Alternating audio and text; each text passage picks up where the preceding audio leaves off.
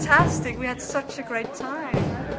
It sort of releases all the tension you've had when you organize something and you come in and pretty dull, boring day and then you say, wow, fantastic. oh really? It does.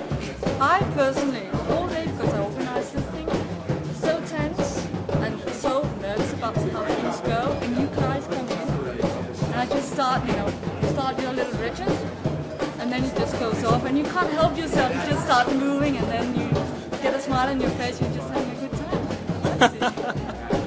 time wow.